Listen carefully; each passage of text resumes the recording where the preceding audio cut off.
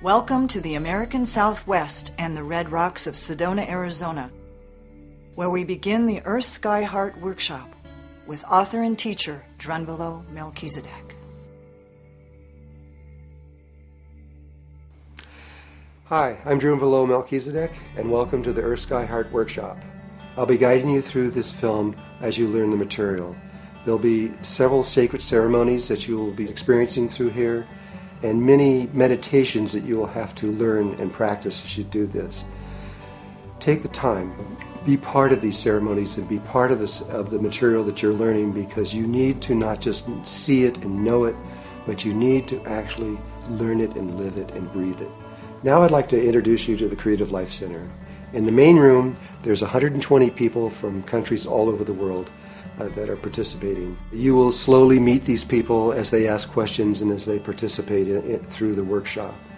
They came here as just friends and, and people that barely knew each other, and over five days they became very close, almost like a family, uh, through this experience. We filmed this using state of the art cameras and equipment, uh, hoping to enhance your experience uh, through these next five days. So relax, get comfortable, and don't be serious. It's better if you approach this as a little child and just relax and not uh, think of everything as so important that you have to learn it or have to know and you have to do it right. Just be there, be present, open your heart, and it'll all come to you. You will all understand it over time, uh, and you will remember who you really are. May this work that happens over the next five days be a blessing in your life and all those that you love. Now let's get started with day one, the day of the opening.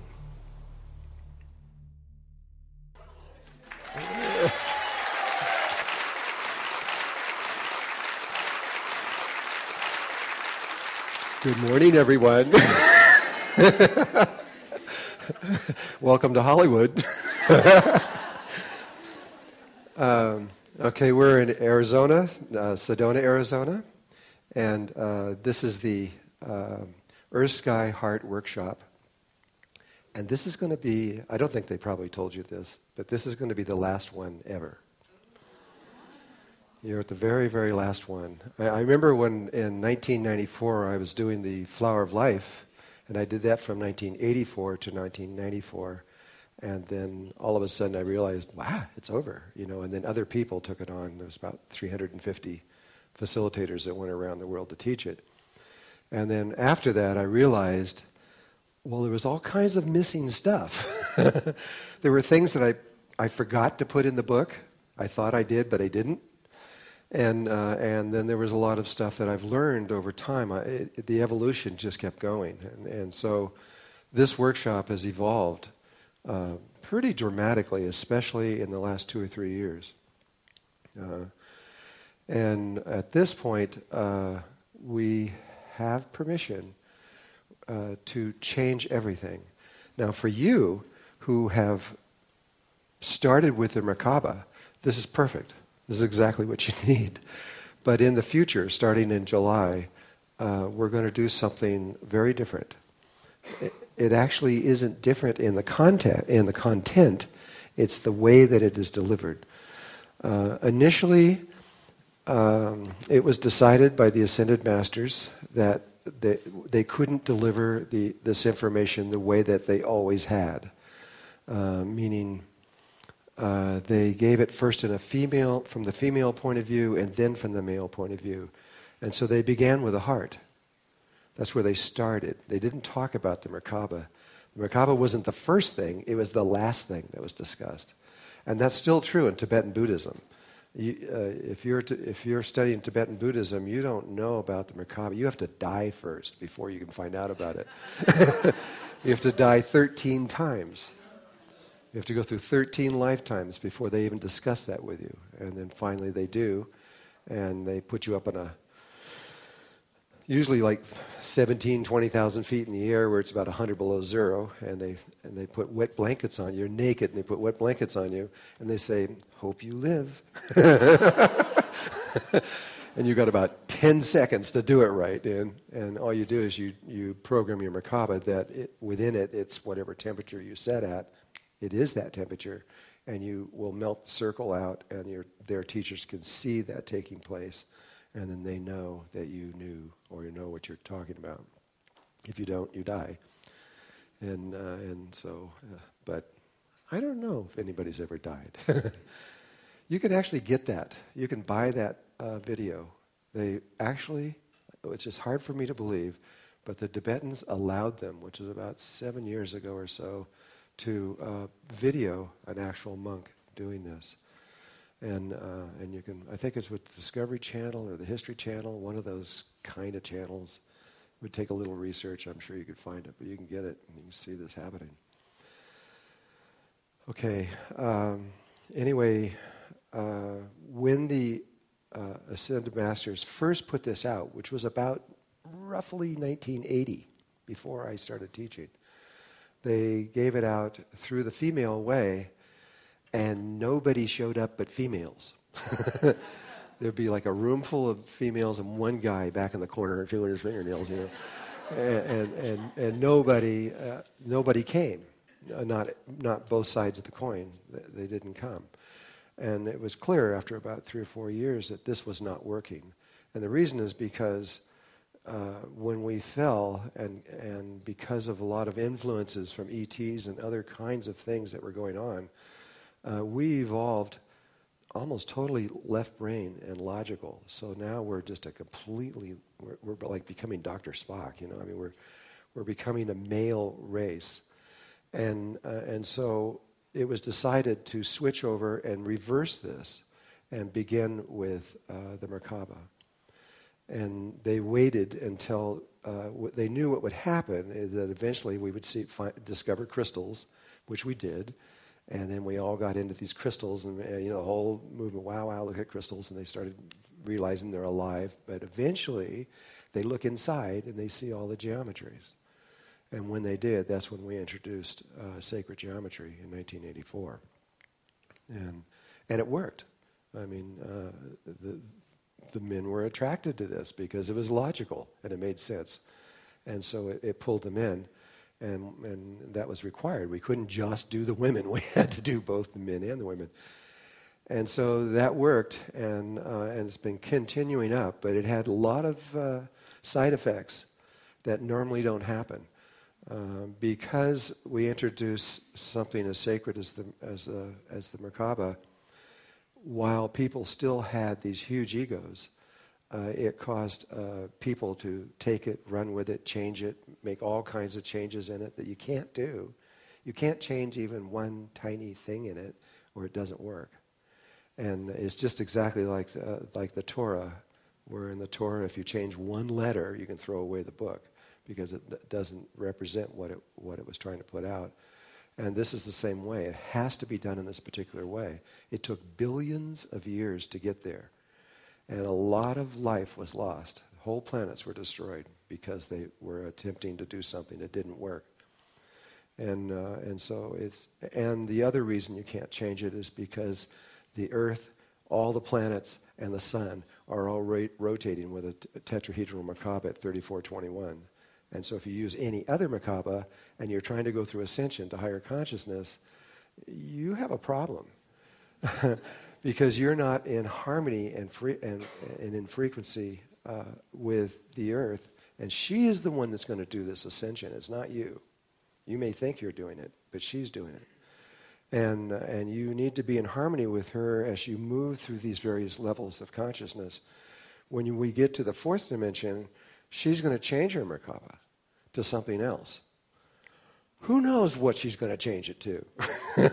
it's, it's, she's a woman. She'll do anything.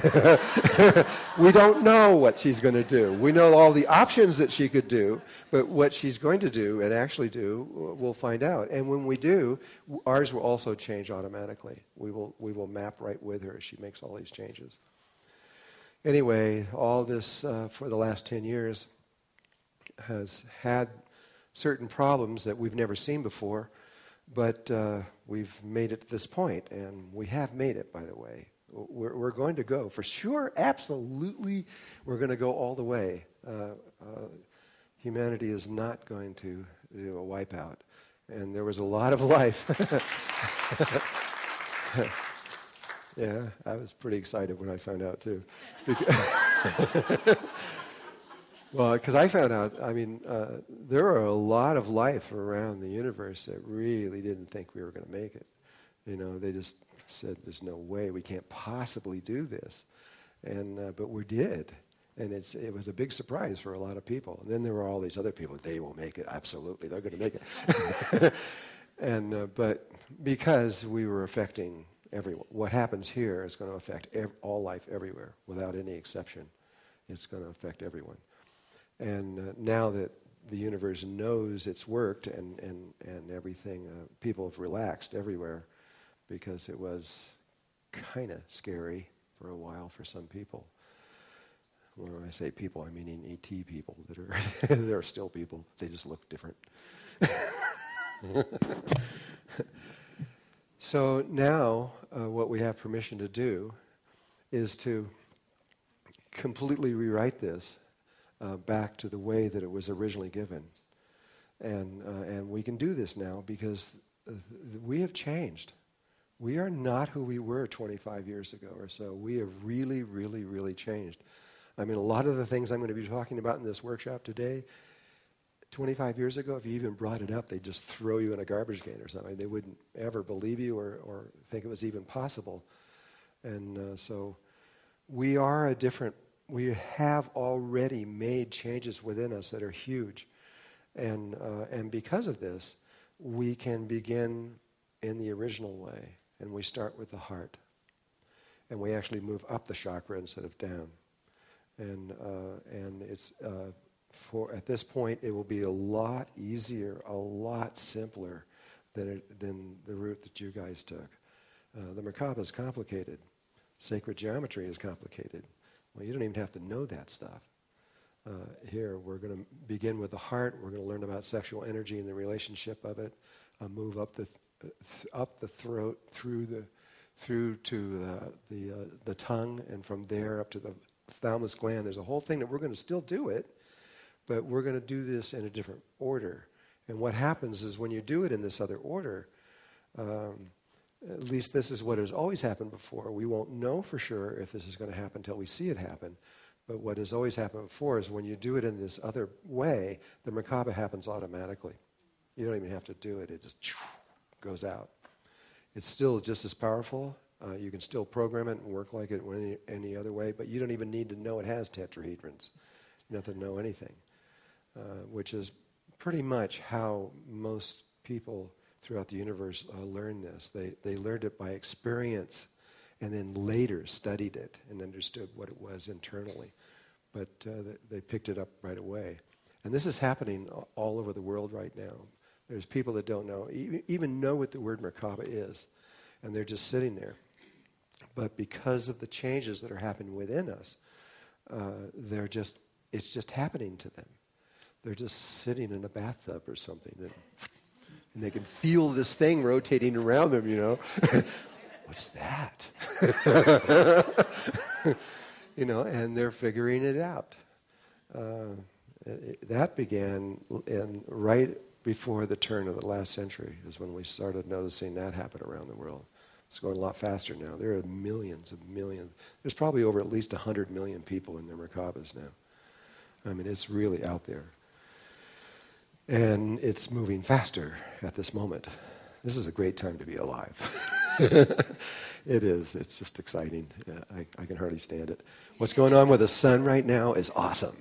and, the magnetic fields.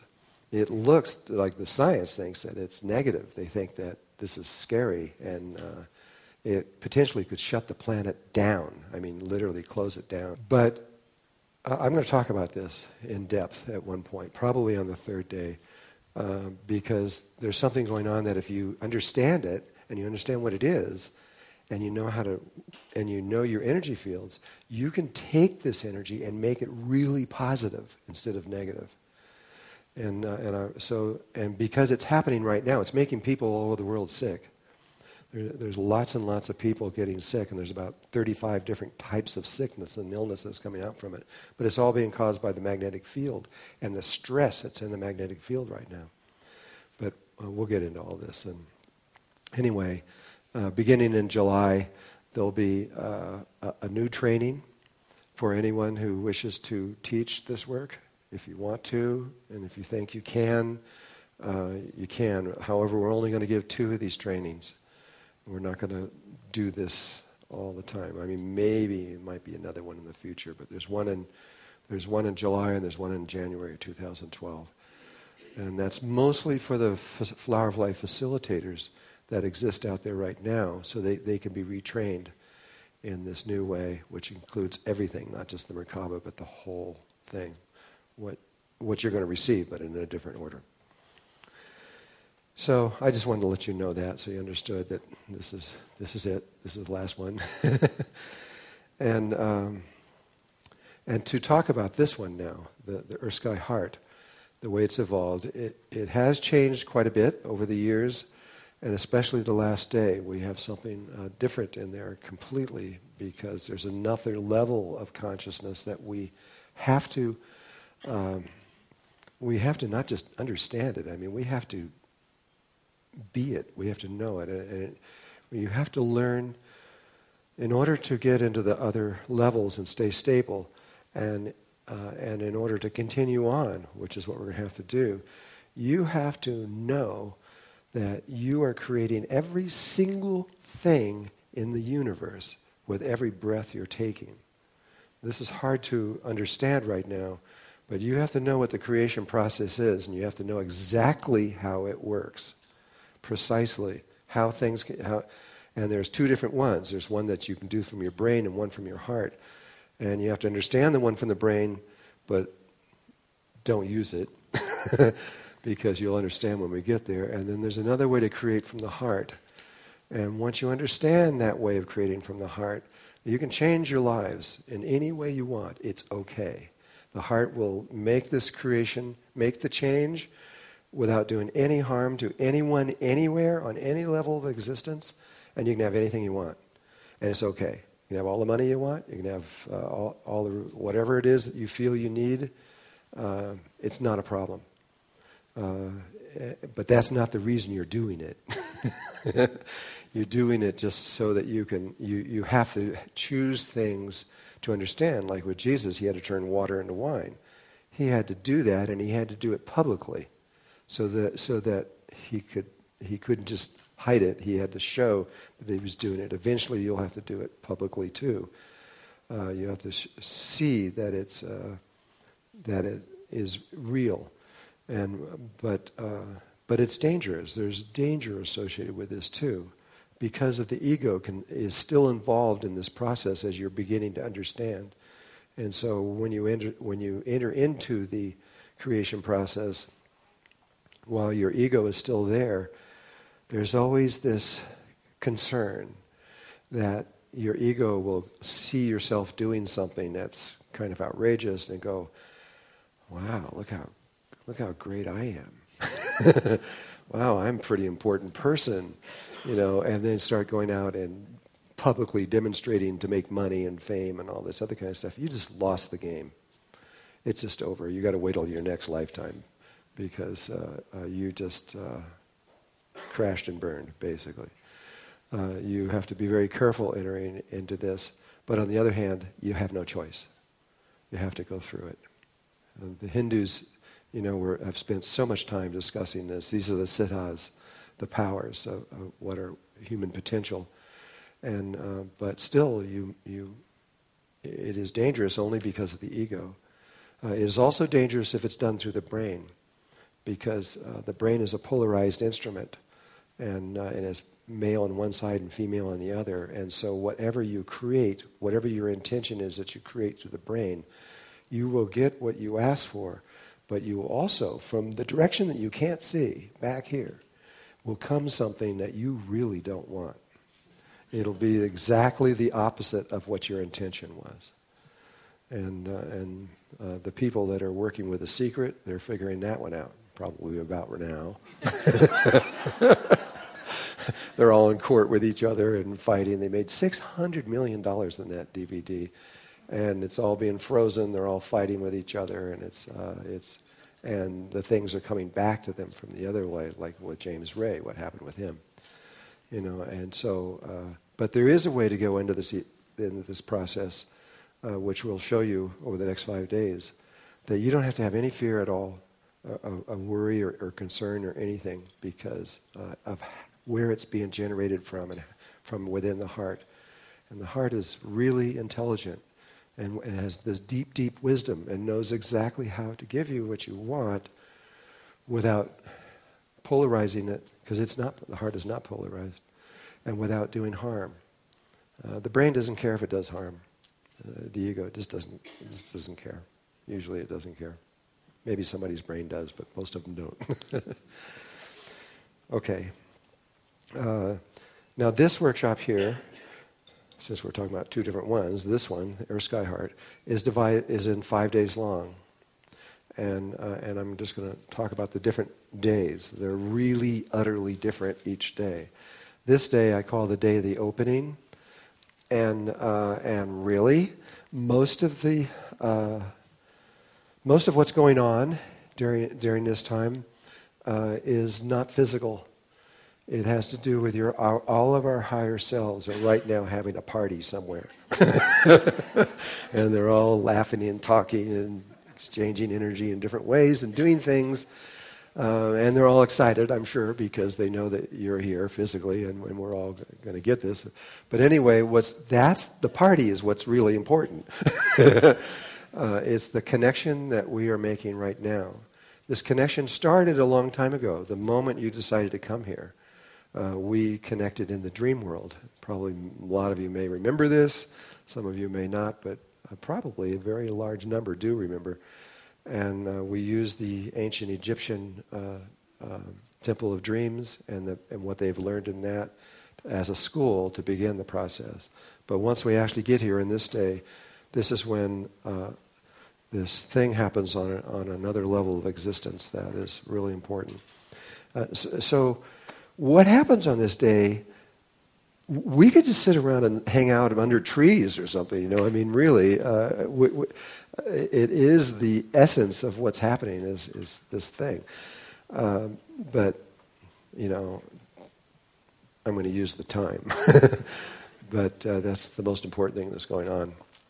Um, then tomorrow, uh, we're going to switch from that to uh, the body itself. And it'll be a day of healing and, and primarily working on the chakra system and specifically on the two heart chakras. You have, you have one heart chakra here and another one here. And this one's connected directly to the heart, and the upper one's connected to the right brain. And uh, so we have two emotional bodies. We have one here, which is one where you function from, which is polarized, which has love and hate, etc., back and forth. And then we have this other emotional body, which most of us have never experienced, um, which is the same range of uh, positive emotions, but it has no negative ones at all. It's the only place that unconditional love can actually really exist. There is no such thing as unconditional love from the brain. And that's where we usually are attracted to our mates. we see them because we like the way they look or whatever, or their money or something, whatever it is about them that we like. And, uh, and, and then we say we love each other, but that love is conditional. All that person has to do is just say the wrong things at the wrong time and it's over. but uh, not true with the heart. If you actually fell in love with someone from your heart, it wouldn't matter. It wouldn't make any difference what you were doing. Uh, you would never stop loving that person, ever. And uh, so it's, this is another part of all of this. So we're going to focus on these two heart chakras because that's where most of our trauma is.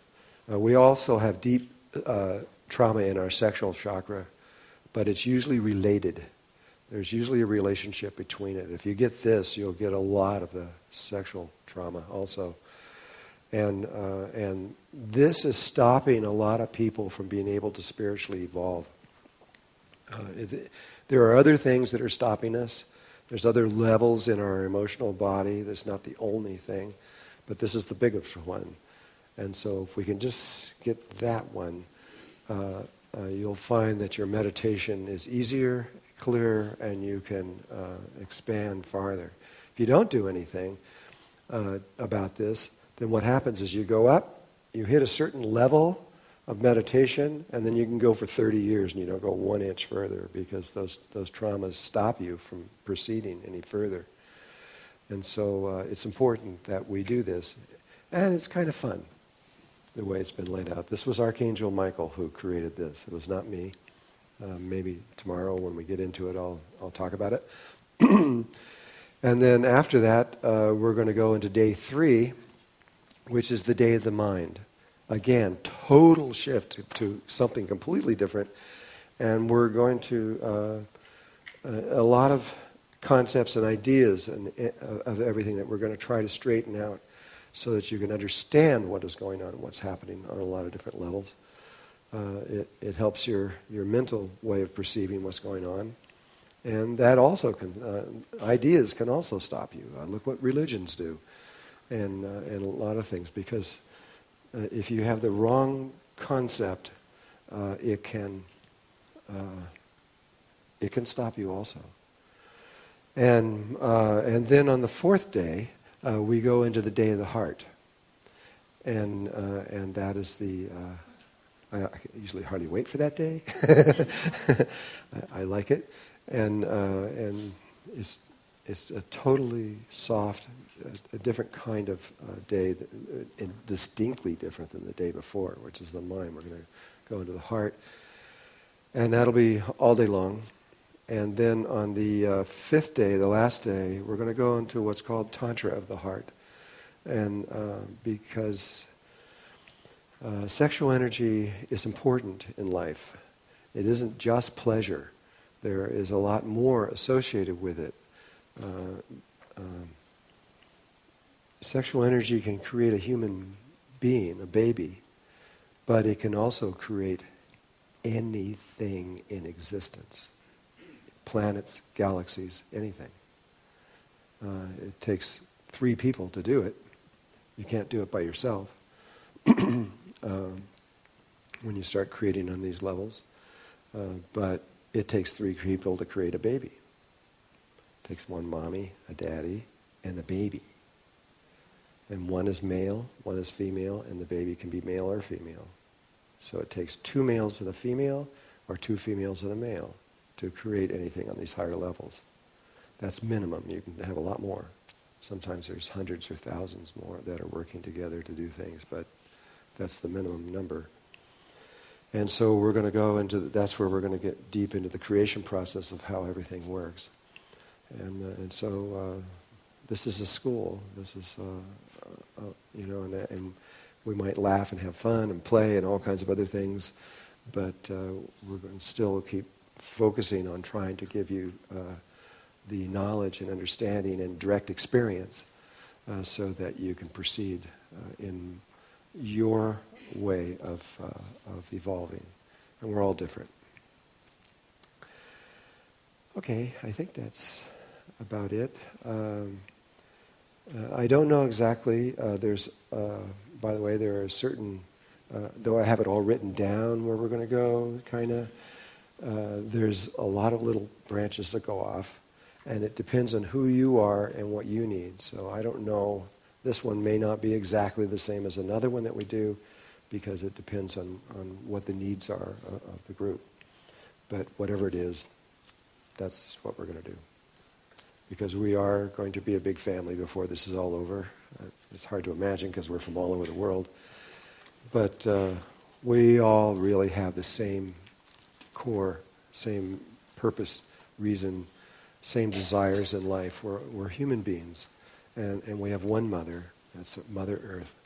And, uh, and we have one uh, divine Father, which is the Sun itself uh, and, and, we have one, uh, there is only great spirit, there is just one spirit that moves through all life everywhere. So even weird looking ET is really your brother or sister. I mean, we're all interrelated. And, uh, and life right now uh, really does love us and care. I have to add a little thing. I have to say, I apologize for what the grays and the reptiles have done. because when that was our first introduction to, to other life. And those guys were just here to kill us and get rid of us. They had good reason to.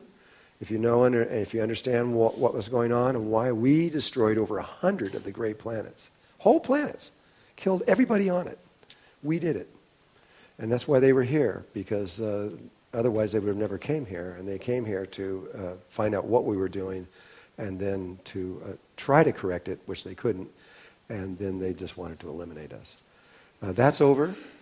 Well, with the gray side it is. It's not quite over with the reptiles yet, but it's almost over. And it will be over with very, very soon. And, uh, and what's behind that is the rest of the universe.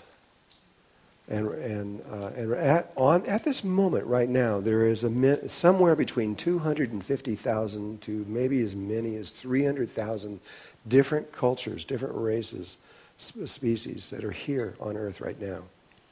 And, uh, and they are, are, here out of pure love. Uh, they're extremely high beings. They understand the situation. They came here to raise our consciousness because we weren't going to make it on our own. And, uh, and, and their, time, their time is about to go. Uh, you're going to see the love. You're going to feel it. And it's almost here. So, and uh, so uh, you're, you're going to see this just over the next two, three years or less. You're, you're going to realize that how much life is here and, and how much they care about us and how powerful they are. They're incredible. And, uh, and so that's why I was apologizing, apologizing about the, the grays and reptiles because, and there's a few other little races that are with them, uh, because uh, they had an agenda and they were trying to fulfill that agenda. But uh, that's going to end and it's going to be replaced with something that's going to make you feel a lot better about life. okay. I will tell you a little bit about myself because you're going to ask me the questions anyway, so I, a few things. Uh, I'm married. My wife is Claudette. Uh, I have five kids. I've been very busy. Uh, three of them from another family. They're ranging from about 35 to 39. And then I'm starting all over with an 18 year old and a 20 year old girl, Marley and Mia, and they're, they live here. And uh, what other questions you asked me? I can't remember. Where am I from? Where I am originally from? Okay. Well, I'm definitely an ET. There's no doubt about it. I'm not from here at all. And, uh, I, but where I'm from is where we're going. And uh, that's part of the reason why I'm here is to. I, I had, a, I had a, a frequency of where I was from, and then the Ascended Masters took that from me and figured out how to get back there. They, they made three or four attempts. And then finally, in about mid 90s, they were convinced, and they all left, all of them except for seven of them. And now about 4,000 of them are still, 4,000 people from humanity are now in the new world, where we're a new universe that we're going to. And then about 4,000 of them came back here, and, and they're, they have that knowledge of how to do this. That's why I know we're going to make it. We're, we have made it, really. Part of humanity is already there. They're, they're no different. Ascended Master is no different than you or me. They, they just are a little bit further along, a little bit, not much, but enough to, uh, it looks like a lot maybe, but it isn't really. You're going to be there very, very soon. And, uh, and so I, uh, and then when it coming in, just a, I spent about 15 years on the Pleiades, on a particular planet there it's kind of like going down in water or climbing a mountain. You can't just go to the top or go to the bottom. You've got to go down in stages, and you have to learn things. And so that's what the Pleiades is like a university or a school. And so I was learning about Earth. And then I went to, the, to Sirius for about a year. I'm talking about Earth year times. Uh, about a year there, uh, which they gave me very definite training on that. And then I flew here in a big ship a really big one. It took 400 people just to fly it. and uh, and uh, and I came here, came to Venus first because that's uh, there are. It's the headquarters of this solar system, and you have to get permission, and we are already going through that stages. And then I came here. I came here in 1840, and but immediately went into the fourth dimension of the Earth, looking for somebody, and there was nobody there, and nobody that had any consciousness hardly. And then went up and uh, found them all. All the ascended masters were in the sixth dimension of the Earth's uh, awareness. And spent about 10 years trying to understand. And then I felt like I knew it. I came down and I was born my first lifetime here in 1850. And, uh, and then died in 1890. But I made so many mistakes. Oh my God. I, I just, I just, I did everything wrong possible. and I was so sure that I had it down. And, and so then I, w- I went back there and I said, God, you guys didn't tell me all this stuff, you know. it hurts to be down there. And, and, uh, and so I stayed a long time, and the time is different. As you go up in dimensions, time gets longer, bigger. You have more of it. And so I was there from 1890 to 1972. That was 82 years. That's a long, long, long, long time. And I figured, okay, now I've got it. And I didn't, wasn't born normally. I walked into this body on just a couple days, uh, April 10th of 1972, and, and been here ever since. That's the birthday. Yeah, well, I consider that's, that's my birthday because that's when I came in. But the body was older. The body's 70 years old, but I'm only 39.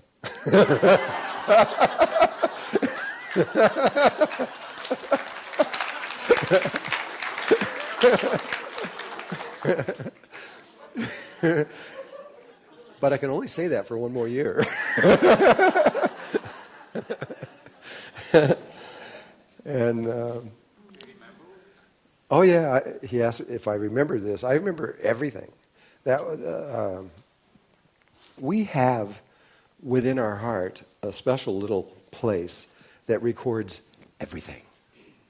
Everything we've ever said, ever done, ever felt, scratching our head, anything. It's total Akashic records, personal.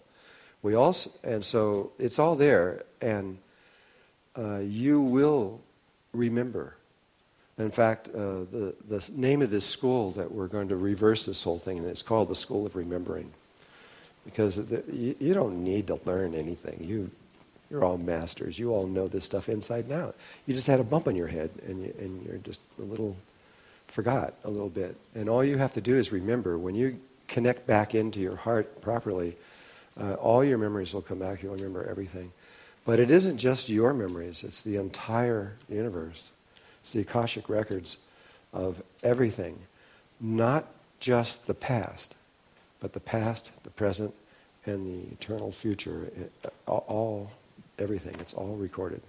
It's already happened. This is kind of weird for us to try to understand this now, but but what we're doing has already occurred. This is why the the uh, in the Torah they can in the there's a code inside the Torah that they call the Bible code, but it was really just the Torah code. And in there, every word that I'm saying right now is written down. It's already happened. That's my name. Uh, they gave it to me. I didn't have. I was Melchizedek, but they gave me this name specifically for Earth, uh, Drunvalo Melchizedek. Uh, um, I don't know why they gave me that name. They just did. They said, "Here's your name." I go, "Thank you very much." Uh, what is it now? I say it again. uh, it's a Druid name. Uh, in fact, the whole name Dr- uh, Drunvalo and Melchizedek is an English Druid name, and the Druids see Melchizedek as living in the center of the earth, and uh, and so they look down uh, that uh, understanding is so wise. I mean, in terms of how, where life is and how it works. Uh, if, if we have time, I don't know if we will or not. Uh, uh, that's part of the, what's called the advanced workshop of this. but the center of the earth is exactly identical to what's outside the earth.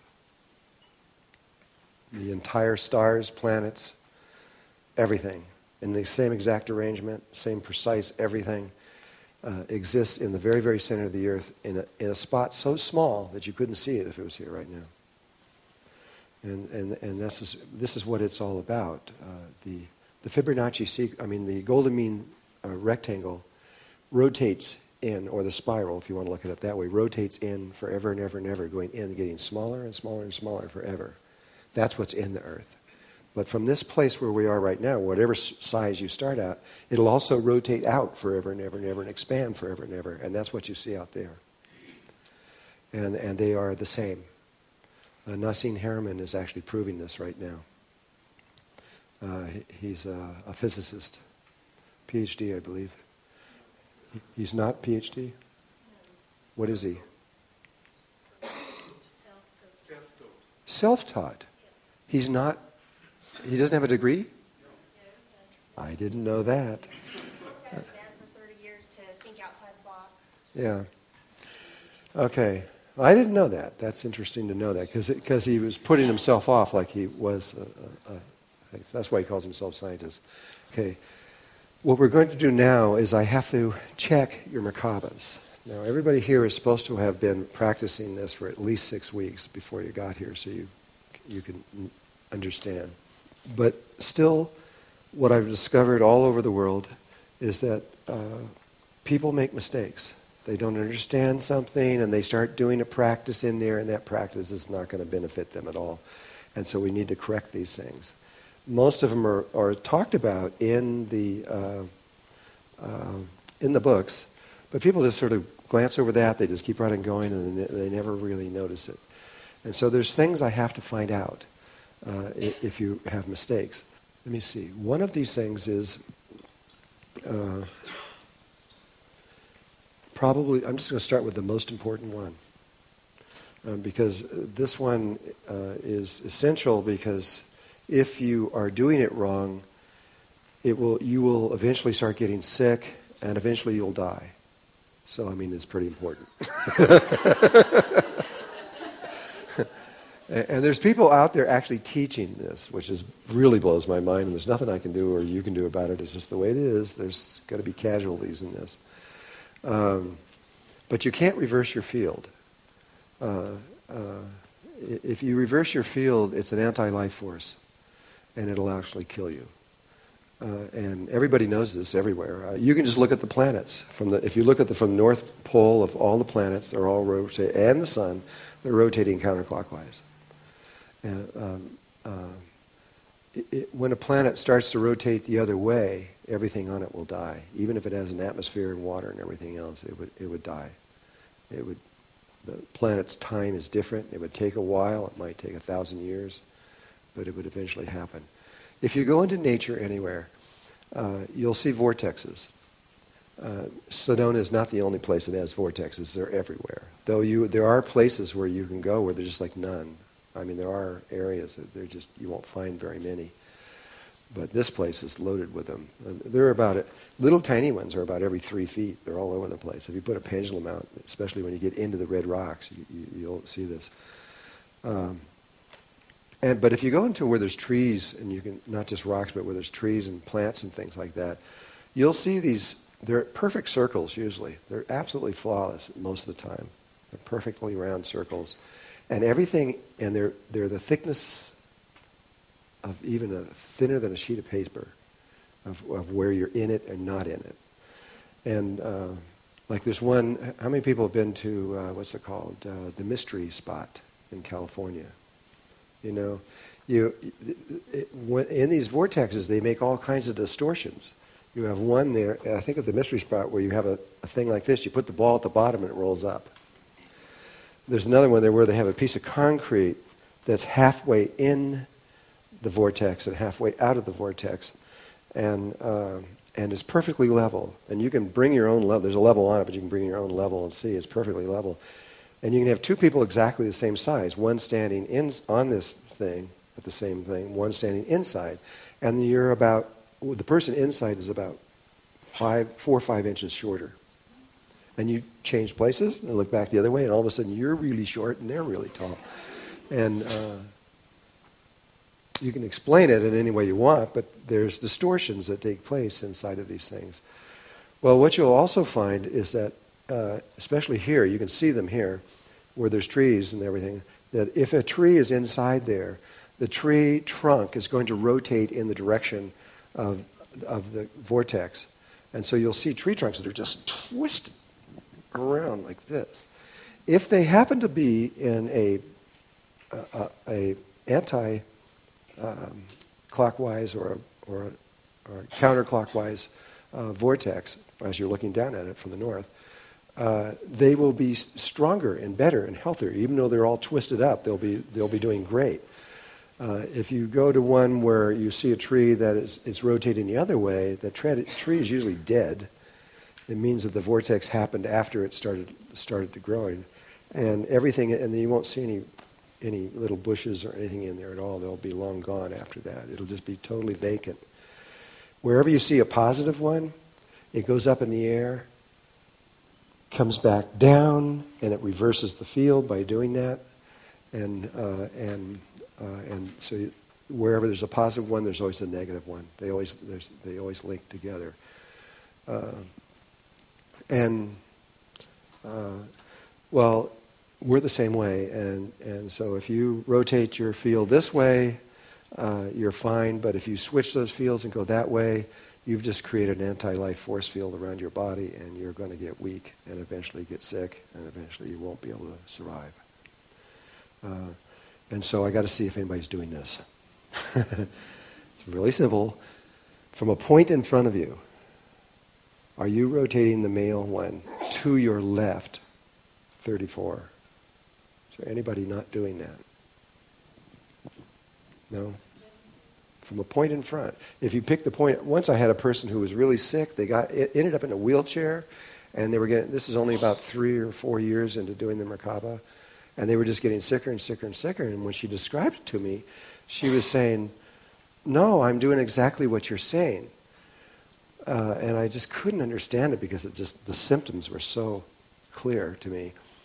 But she was saying, No, no, I'm going uh, 34 to the left and 34 to the right. And then after a long discussion with her, I found out she didn't pick a point in front, she picked a point in the back. So why? I don't know. But she was going 34 this way, 21 this way, and it reversed the field. As soon as she switched it back the other way and chose a point in front of her so the, the reference was correct, uh, all of her symptoms went away. She's fine. Uh, and so nobody's doing that here, I don't think. Okay. Yes. Oh, we need a the mic. This is Natalia here who's bringing, just to introduce you. huh? Oh, you did? What is it? Olivia? Oh, okay. All right. Hi, Olivia. I didn't know that. in the book, in the explanation, and in the in the whole rotation with one going one way and one going the other way, I found that in, in meditating, it was so complex that my brain just just it, it curled. It just started. So I just I gave the intent for it to do what it does. So I couldn't tell you which way it's going because I haven't tried to.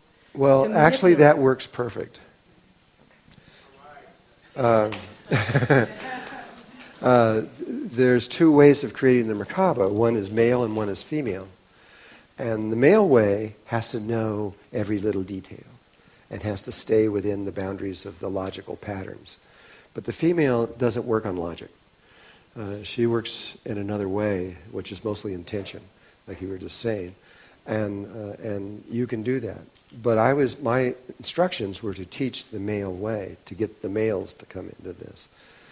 Uh, now with this new way that we're about to do it, that's exactly what will happen when you get to the final patterns. You get all these things linked up. You just tell it to do it, and you don't even have to know what's spinning around you or what or how, and it'll do it perfectly.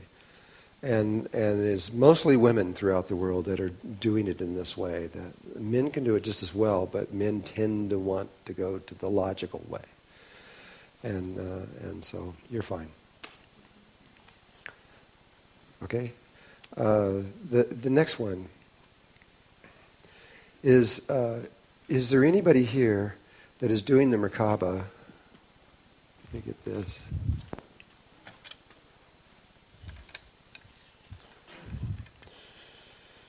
where you have a. I'll, I'll try to lock this. Don't move, no. I want to move. Um, with this point, this is the male point forward and the female point forward. It doesn't really matter. I'll use the male one. But is there anybody taking this male or the sun tetrahedron and spinning it one way and the female one and spinning it in the other way? Is there anyone doing that? It, it, just so you know, there's a spectrum of Merkabas that are possible. The universe has found a little more than 100,000. It's about 100,000 and, and 200, approximately. And that's what they've learned. And I, they're probably, they haven't found a new one in a very, very long time because they've exhausted all possibilities. But uh, the, if you spin the top one one way and the bottom one the other way, that's the first one. It's the very first, simplest, easiest way to create an energy field around your body. And uh, medicine men and shamans all around the world have been doing this for thousands of years. Uh, and there's nothing wrong with it. Uh, it's just that it's very, very limited. It, uh, you can go fourth dimensional, but you can't go any higher. And so you can do fancy things. I mean, you can disappear. You can, uh, you know, all kinds of stuff uh, and you can gain information and knowledge and lots of things you can do that shamans have done with it. But it's not capable of making the movement that we need to make. And so they eliminated that one and went to the second one. And the second one is the realization that there's actually three sets of these things. And, and they're on the same axis. And so uh, w- when they're stationary, which is where, where they are around most people, you, you, if you could psychically see them, you'd just see one set sitting there when there's actually three because of the same size and the same axis. But there's one set that is male, that is electrical in nature, and it's uh, basically our, our mind, and it moves this way, counterclockwise, uh, counterclockwise relative to where I am.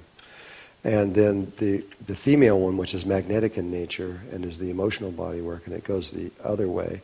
And then there's one that's fixed, that doesn't move. Uh, however, just so you understand, because a lot of people don't understand this, uh, the, the, the difference between 34 and 21 is 13. And so the whole thing, if you put it into a computer and, and made this computer model to do it, you'd see it. The whole thing rotates around counterclockwise at 13, while the other things are doing this thing in, between, in the middle in there. Uh, it, it's, yes, it is complicated. Uh, the human body is complicated. If you look inside the muscles and all the nerves and all the stuff that's in here, it's amazing what's going on inside here. And our light body is actually really simple compared to, uh, to the other, but it's still complicated. So just with your intention, make sure that you understand that it's a full set going that way, a full set going that way, and one set that's fixed. And, and it'll be fine. However, uh, let me find out if there's any other.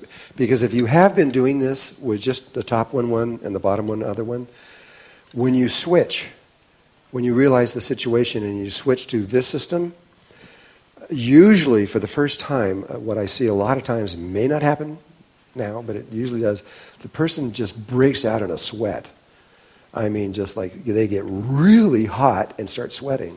And it lasts about five minutes and it never happens again. So I'm just telling you that now so that if you do change this later and you do break out in the sweat, just don't worry about it. It'll go away and you'll never have it again. I don't, it's the body, uh, there's a lot, this is a lot more energy. Uh, it's a, really a many, many, many times more energy. And the body, when it actually experiences it, uh, sometimes has a little reaction. oh, one, one more. Yeah. Okay. Yes. So when I started doing it, I I did the top and the bottom, mm-hmm. and I felt the heat, and now I understand. I understand what happened. But then I switch it. But when I when I do the intention, instead of spinning like like this and like that, mm-hmm. It spins like this over the top. it spin like that. Why? I mean, it's just it, it just happens. There are a few people in the world that it happens with. It's very, very rare. You're, you're about one in maybe four or five hundred thousand people Uh, uh, it's very rare that instead of spinning this way, it spins over the top. It does that. If that's what's happening with you and it's natural, you didn't intend it or force it or anything to do it, uh, don't worry about it. Stay there and just do it coming out at the sides rather than out through the axis. Uh, it's it's uh, they, the angels actually had me learn how to do that, and but I never understood why they had me learn how to do that. Uh, but uh, there's a lot of things we can do with this that I don't talk about, and that's one of them. Uh, do you? Um, I've only met maybe three or four people. You're probably about the fifth one ever. Uh, do you have a all of these other people had this particular problem. And it was that if they stand in a certain direction, in a certain place, and they stand there for a little bit, they begin to dissolve, they disappear. So nothing's like this has ever happened to you? Mm, not yet. Not, not but, you, but you're waiting.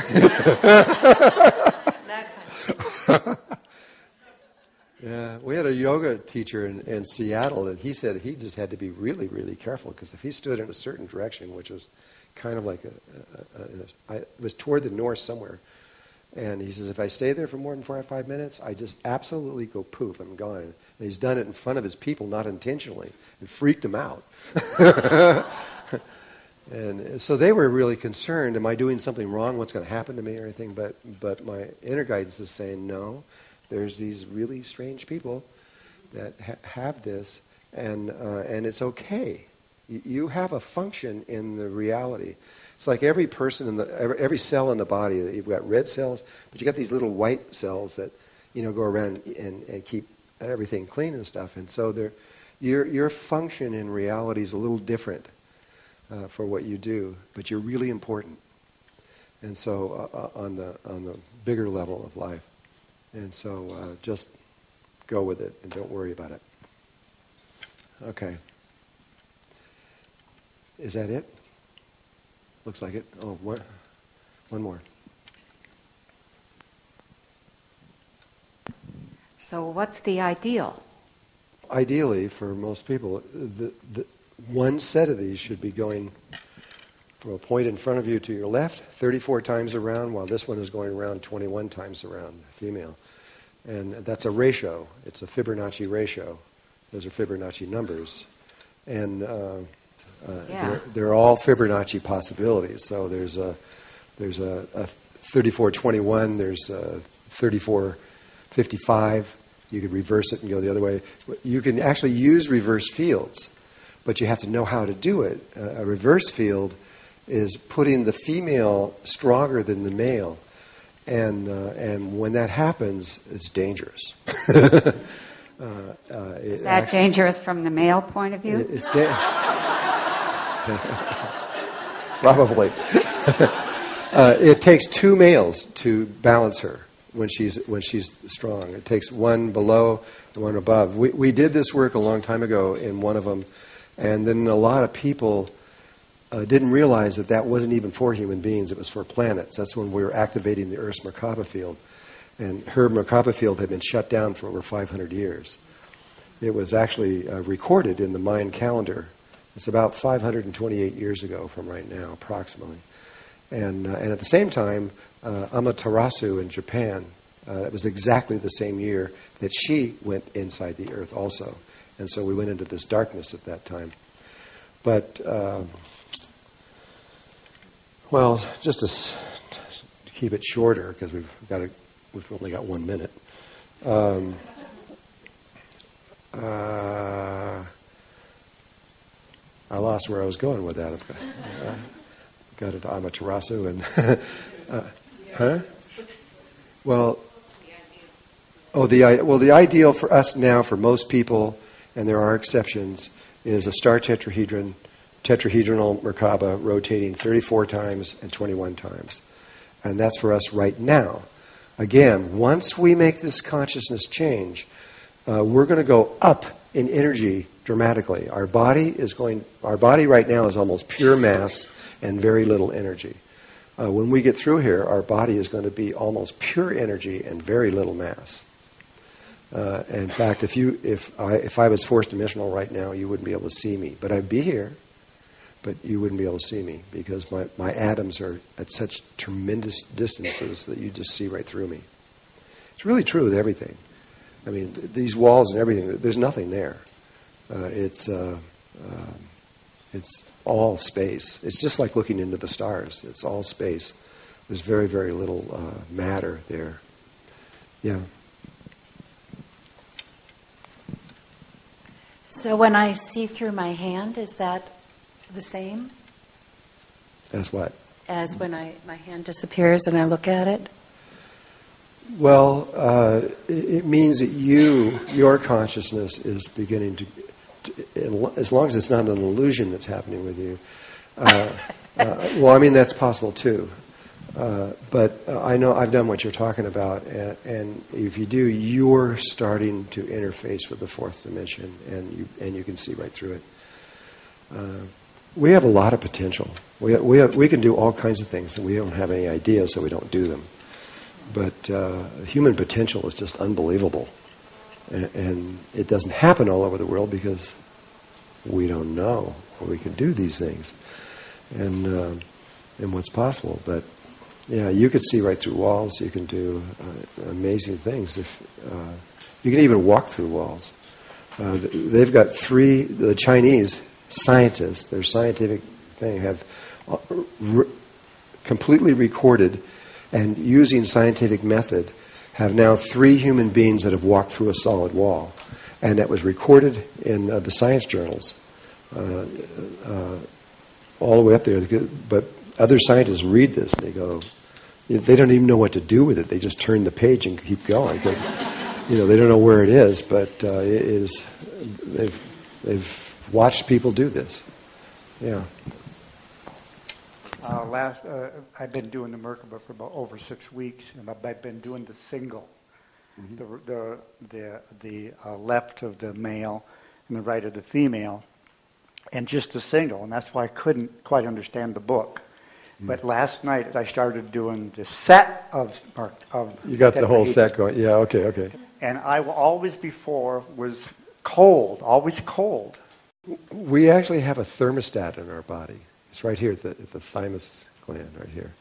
And uh, you can set it.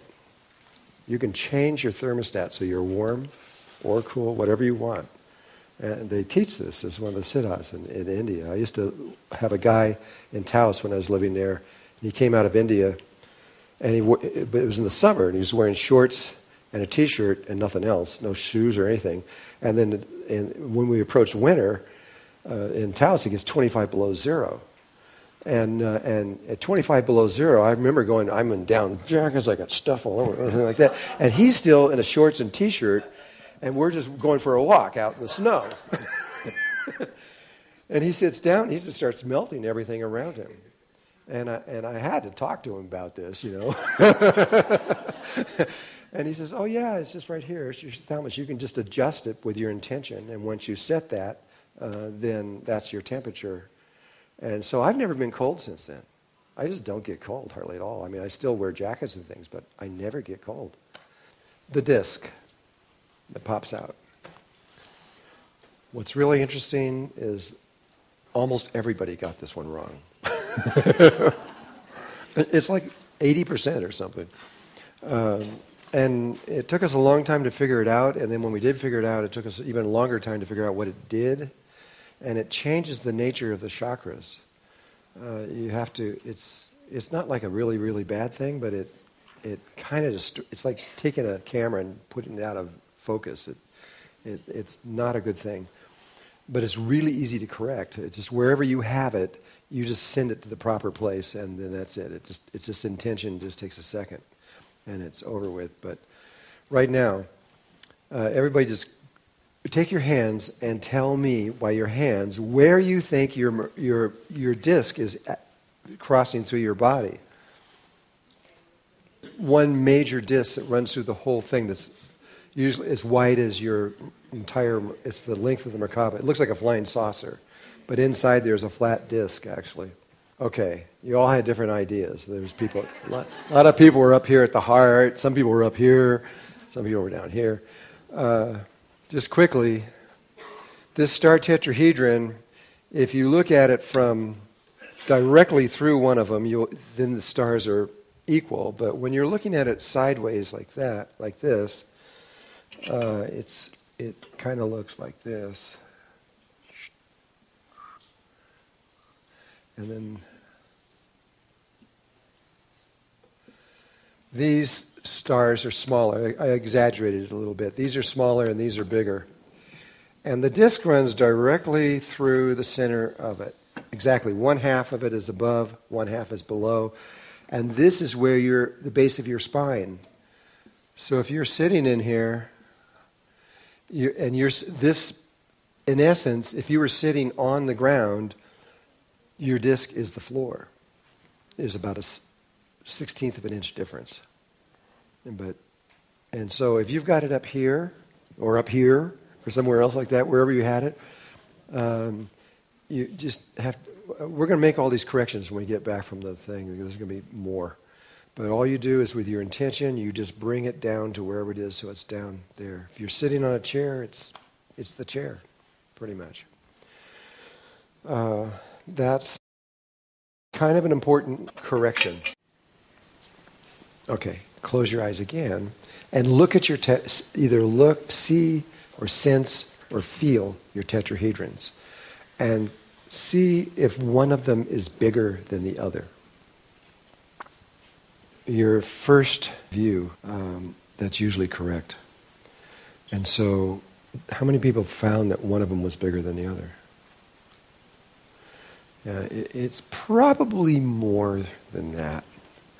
Um, because what these tetrahedrons are is they represent all the polarities in your body in different ways, every single one of them.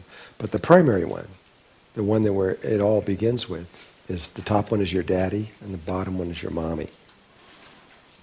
That's the polarity that uh, it all started with. And when you, especially in the first, from conception to the first three years of life, if, uh, if one of your parents was uh, violent with you or angry with you or, or abusive to you in some way, uh, a, a child experiences pain on a level that we don't remember as adults. It's really huge. And they do all these things to get rid of this pain and everything. But uh, the, the, uh, what happens is the child uh, backs away from that parent internally in their heart. And, and, uh, and they are protecting themselves really from the pain. And so uh, what happens is in the tetrahedrons, uh, the tetrahedron c- gets smaller. It tightens up. A- and so uh, if you put if you put your tetrahedrons on the screen, you can just look and see what just by looking at it, you're going to know pretty much what your relationship with is your with your mother or your father by seeing those tetrahedrons.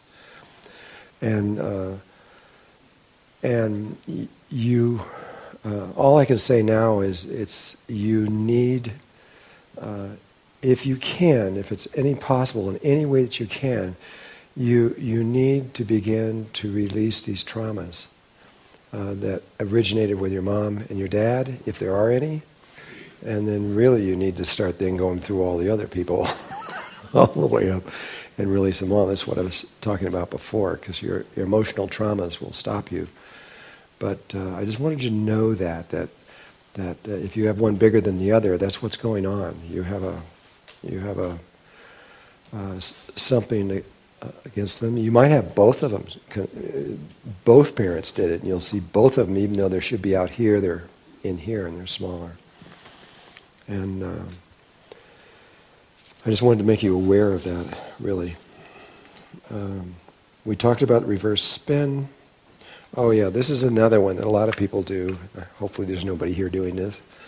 Some people take a set of these like this, and instead of connecting to the big ones that are around their body, they see, usually it's a visual thing, they see a small set of them like this sitting out in front of them. And so when they're going through the, the white light in the top one and the bottom one and going back and forth and they're doing all the things, they're seeing it happen in front of them. They're not actually doing it.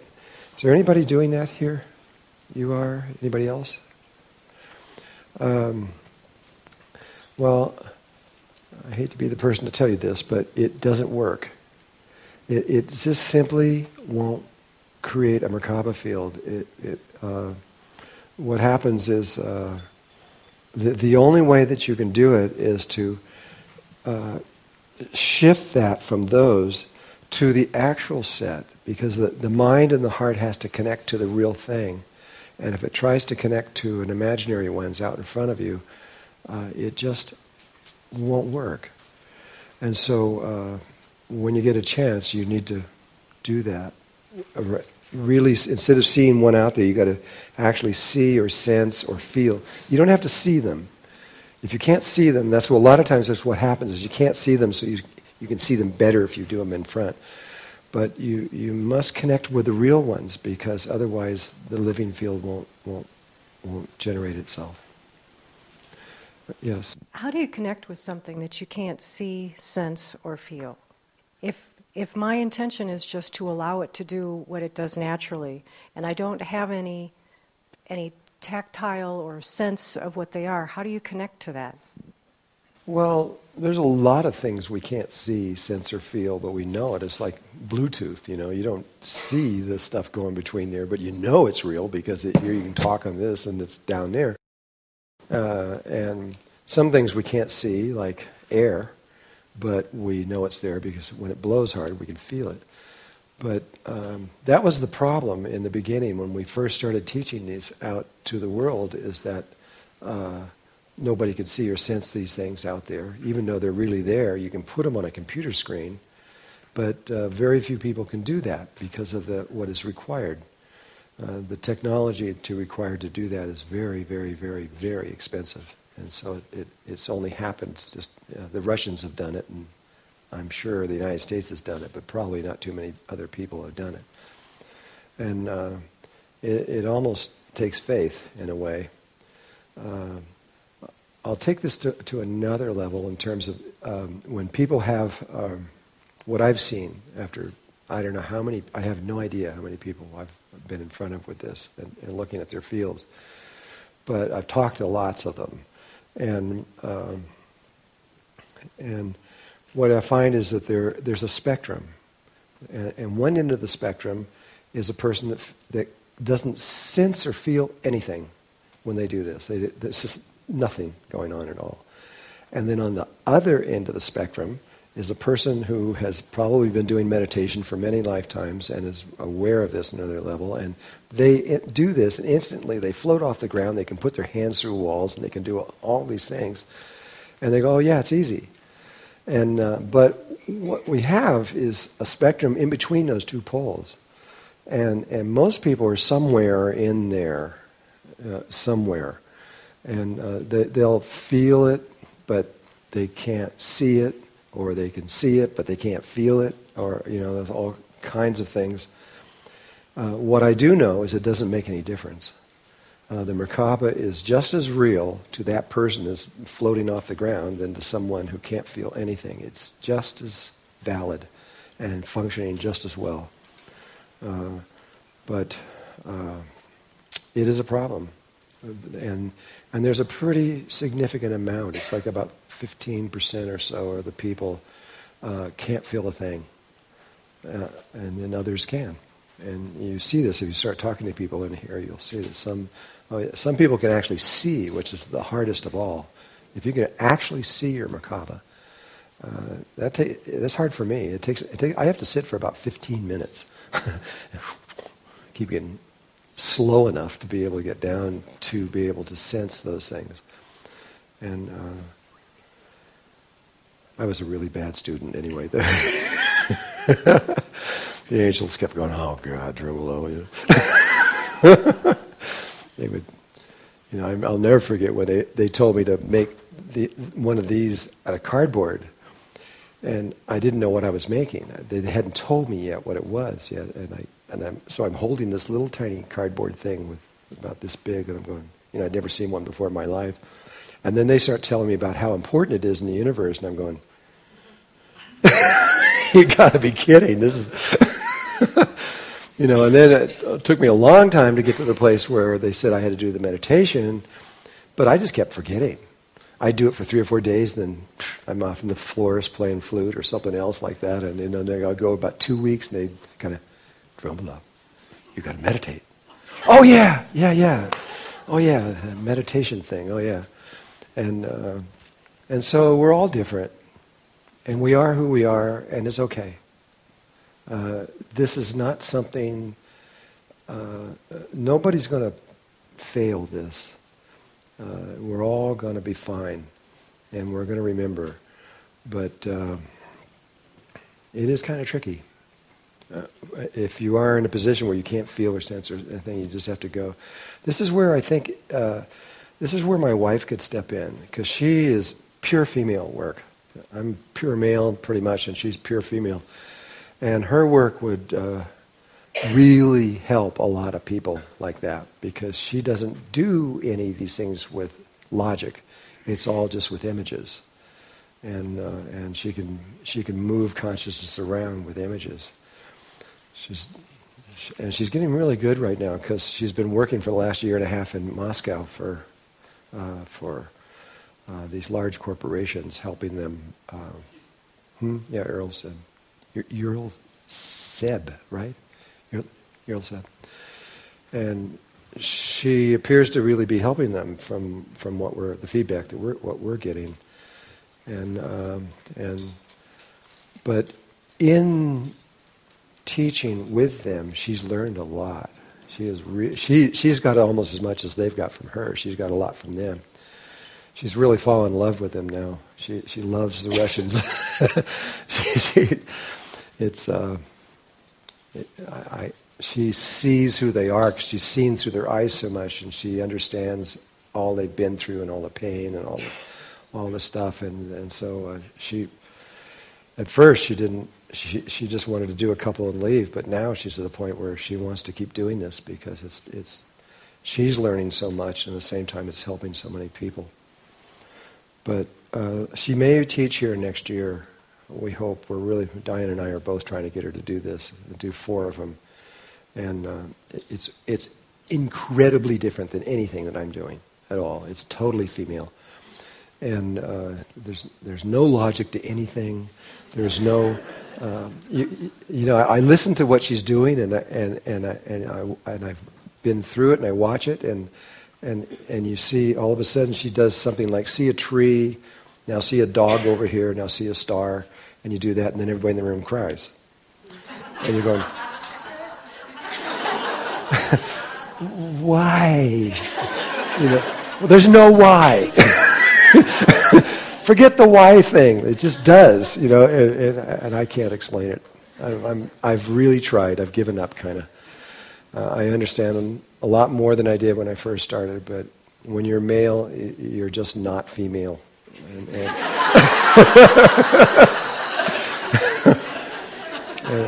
it's just I can't get there from here.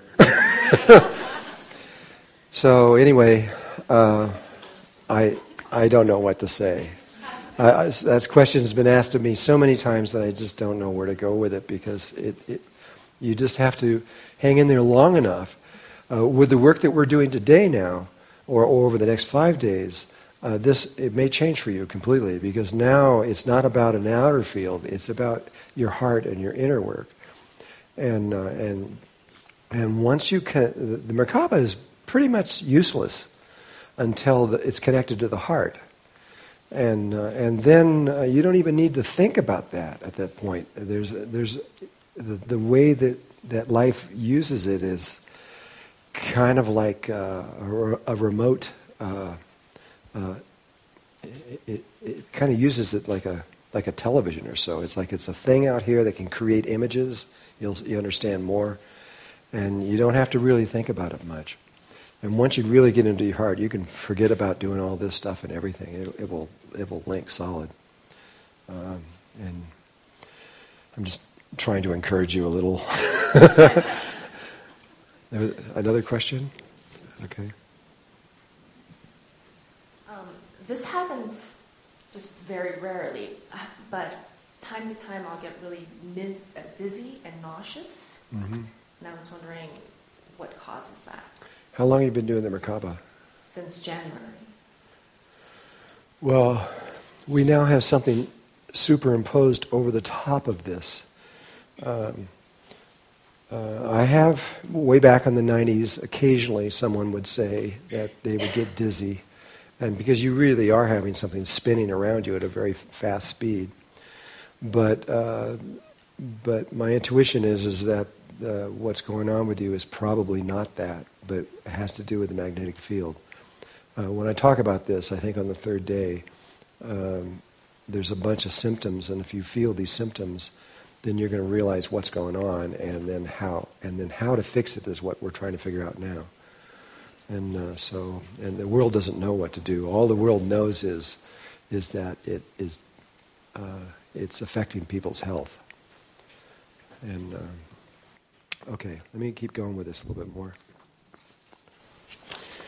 another thing, just so you know, is that uh, when you're making the Merkaba field, uh, the analogy of a tree and a seed is very similar. It's a living field. It's not a mechanical thing, you know, like wheels rotating around or something. It, it's living. It's, it's, uh, I didn't understand it when I, when I first wrote those first two books. I thought it was the, the, the brain and the heart working, but it's, it's not. It's the left and right brain. The left brain is going this way and the right brain is going that way. And, uh, and it has a, uh, it, but it's, al- it's alive. It's part of your consciousness. It's not something separate from you. It is part of you. And eventually you're going to find out it's way more than you think it is. It's, it actually is the universe itself. But we haven't got there yet. But the, uh, but the analogy is like uh, when you're just starting this, normally it takes a very, very long time and it happens naturally. It just occurs. If you, if you reach a certain level of consciousness, no matter what you look like externally, you reach, there's, consciousness is consciousness no matter what you look like.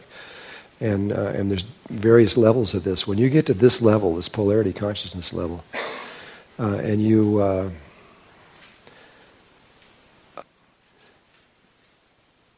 when you start over, every, every day when you're doing this, you're actually bringing it from your navel up to your heart. And each day you're starting over. This is synthetic. This is not natural. This is not the way that normally happens. It normally happens over usually at least 100 to 150,000 years uh, before, and then you, one day you wake up and you go, oh, yeah, and you understand it. Well, uh, it's just like uh, it's like a little tree. If you plant a if you plant a seed and you put it in the ground, you have to uh, keep watering that tree and protect it and maybe put little things around it or a fence around it or something to protect it to grow up.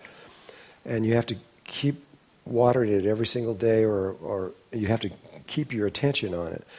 But once that tree gets up, you know, pretty big, uh, you can kind of let go. It, it, will take off on its own. It's got its roots down in there. It's, it's, it's connected into water, and, it, and that's it. You don't have to do, protect it anymore. It'll take off. And the Merkaba is the same kind of way.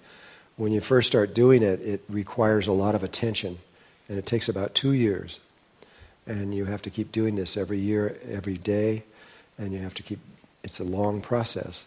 But after two years, uh, the Merkaba is permanent. It, it's not going to stop ever again. It'll just take off. It's part of your, it's, it, even if you were to die and reincarnate, your Merkaba would still be with you. It would stay with you. It's part of your consciousness now. It isn't part of the body, it's part of your consciousness. But your body is part of your consciousness too. Yeah, it's not separate from your consciousness either. After you finish the Merkava meditation and you walk around and you are aware of the Merkava field, you see the center of the spheres in the heart chakra or in the, in the navel. And if you already see it here, why do you need all the time when you begin to start it from the navel and bring it back to that? Uh, the reason is because uh, everybody ha- is centered at the navel right now, and that's because the earth is. The earth is, has been centered there for a long time, and uh, and but where we're where she's going and what she's doing with hers and what we're trying to get everybody else to to trigger is to move it up to the heart chakra, and so on the 14th breath we move it up to the heart chakra, but that's only good for 47 hours, and, and it will die after 47 hours. And so once a day, or definitely before the 47th hour, uh, you have to do this again, and you do it by starting all over again and bringing it back up. It's not natural, it's synthetic. Everything that the earth has been doing with consciousness is synthetic. If you go way back into the Egyptians 6,000 years ago, they were building pyramids, physical pyramids, using rods, tuning forks, frails, all these things to raise consciousness. And uh, it's, it's not normal, it's synthetic. 6,000 years before that, a little more, we, uh, we basically got a bump on our head. Something happened during the time of Atlantis that caused us, we were already entering into that level. And then we lost it, and we came down. And then so life said, if we hadn't have already entered into it, uh, the rest of the universe would not have allowed us to do what, what I'm doing now. But because we'd already entered into it, and it really was only a small number of people, but nevertheless, we, we had got it. And, uh, but because we had achieved it once, then they gave us permission to go back and do it again. But, but in doing it, we're doing it synthetically. And, uh, uh, and it doesn't always work. Uh, we've watched many, many, many, many planets go through this before, and a lot of times, I don't know what the percentage is, but uh, it works more than it doesn't work. But still, there's lots of times when it doesn't work, and the whole planet just dies, doesn't make it. And um, so you have to know that it's not. This is not a normal thing. This is just one way that they have found a long time ago that works. But eventually you'll bring it up here about two years from, if you just started today, and about two years from now you'll bring it up here and it'll just stay there. And you don't even have to do this ever again or anything. It's going to stay there. It's just part of you. So, so when you see it during the day, you see it in the heart chakra? Yeah, during the day you're up here. But then every time you start over, you've got to bring it back down here and bring it back up. It's kind of like, you know, I, like one of these wheels and playgrounds where they're, and you have to just keep giving it a push to keep it spinning. You have to keep doing this. You have to bring your hand back over here and do it again, and bring it over here and do it again. And then, but eventually, uh, if that wheel is done right through through uh, vacuum energy, uh, it would just keep going forever. How many people, when they were doing this, uh, I know I because I was following my instructions from the angels, and they said to on the top one to see white light in it, like lightning, which is just the color of pure prana, and uh, and then you move it down to the other one. How many people noticed as you started doing this, and there's, there's nothing wrong with this? Uh, how many people noticed that when you started doing it, it wasn't white; it started changing colors and started becoming all different kinds of colors. Let me, can, let me, can I see with hands how many people that? There's no rules. Uh, well, what is really going on is the angels gave it to this. Well, I, I, understood this later from them.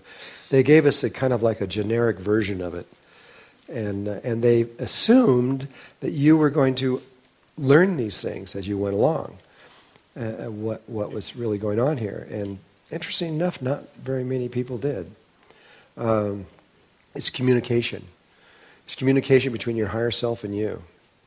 And, uh, and if you watch these colors changing and everything else like that, you have to feel them. It, it, you can't think of them logically, but it's like listening to music. You can't go. You can get into the, the logical side of music, but it's boring. But uh, but you uh, you have to feel them, and uh, and if you do, you will feel what they're saying to you. They're trying to communicate with you, and it isn't just sight and that. It's all of your senses. It's all, five, all of them. You, right now you have five. You're going to have six pretty soon. And actually seven, and then it jumps to 12, 13. We're, we're going to be about 13 here, not too long from now. But uh, right now we have five. So there's sight, there's sound. How many people hear their Merkaba? I know you do. you told me. You do? You do? Um, well, uh, there's other things. There, there's smell. There's uh, uh, a lot of people smell flowers or or free, different kinds of things that are in the air around there. It's usually very positive, but if it's negative, what we when we say positive or negative, that's just because we're in polarity consciousness. If, you, if you're communicating with your higher self, which is in unity consciousness, they don't see that. They don't think that way. And, uh, and so, uh, and then there's the touch. Has anybody ever done their Merkaba and then felt?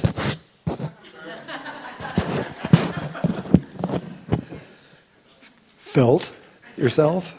Or, or felt something touching you or yeah, I mean, when you get to touch, uh, your higher self is really close. they are really, really, really close. They are really focused on you.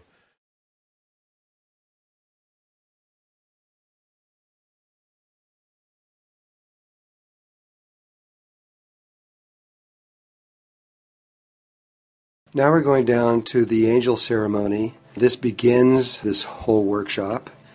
And this is a very important ceremony. What it does is it begins to open our hearts in a way that we normally don't encounter in our everyday lives. And through a very sacred way, where I bless in the four directions and I make a sacred space for us all, I have you chant Hu, which is H U. And while you're chanting that, I will be going around and doing something that temporarily brings all of your chakras into balance. It doesn't last a long time, but it helps in this ceremony. And then after we do that, I will say prayers, and we will then get to the angel ceremony. The angel ceremony is a very specific thing, it is very old. Every person on earth has two angels that are connected to them. They may not know this, but they have to have two in order to have polarity. And there are two of you on earth. You divide your spirit into two different people, usually one male and one female. And there's an angel associated with each one of those people. And this one angel will know who they are. Now, you may not even believe in angels. You may not think that they're real, but just go through this anyway what happens here is that real angel is going to stand in front of you, and then at the right time in this ceremony, with your permission, of course, we will turn them around where they're facing toward the center of the circle. They're going to move back and become part of you for the next five days. They will be part of your body. They will sleep with you, they will look through your eyes, and they will begin to help you understand what is about to be presented to you. When you have a problem, and you don't understand something, you can close your eyes, connect with this angel that you're going to soon become familiar with, and they can tell you anything you need to know. It is the beginning of what is called your higher self. A higher self has higher selves to higher selves. There are many higher selves, other beings that actually are you on another level of existence.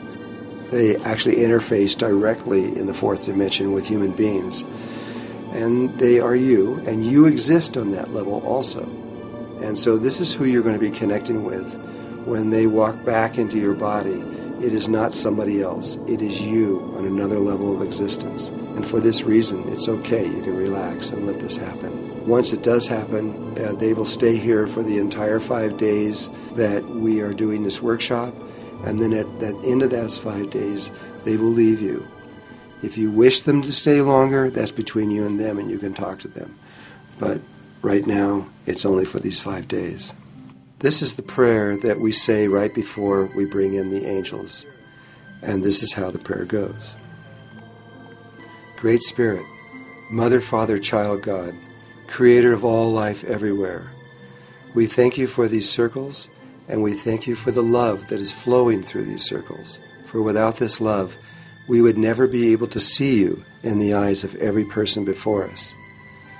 And may all the beings of light who wish there to be love and truth and beauty and trust, harmony and peace and reverence for God, may the beings that hold these principles and that are working with us now be here to help us so that we can understand what is being given to us and we can live it and breathe it and make it real here on earth now and today. Now for the angel ceremony. We are going to invite the angels in at this time. And I want you to go inside yourself to invoke them or ask them to come out and to be here in front of you. And when they are here, whether you can see them or sense them or feel them, it doesn't matter. They will be here. And this will be the beginning. Something that may entirely change your whole life.